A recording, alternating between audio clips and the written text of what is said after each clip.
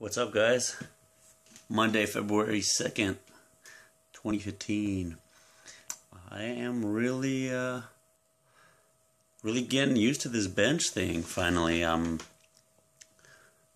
weight's feeling lighter, and uh, I feel like my form is finally getting there.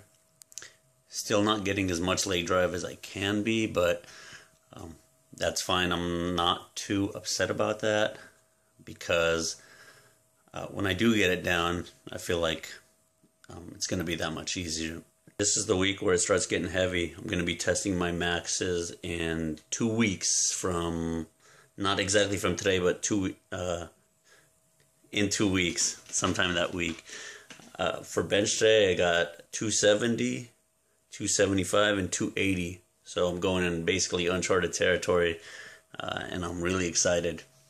Uh, 270 is what I paused at the meet, and uh, I think I tried 273 after that, uh, but didn't get it. Uh, I have paused 275 once before, and I think I've uh, I've repped it way long time ago.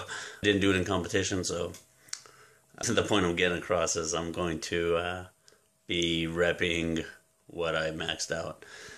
Uh, well, I already have done that, but repping beyond, I don't know what I'm doing. I, I just had some coffee, so the caffeine's doing some talking right now. I think I'm hitting 295 for bench later on in the week. So everything's moving and progressing well. That's it. I don't have much else to say. Maybe I will uh, once this caffeine wears down or once I get in the gym.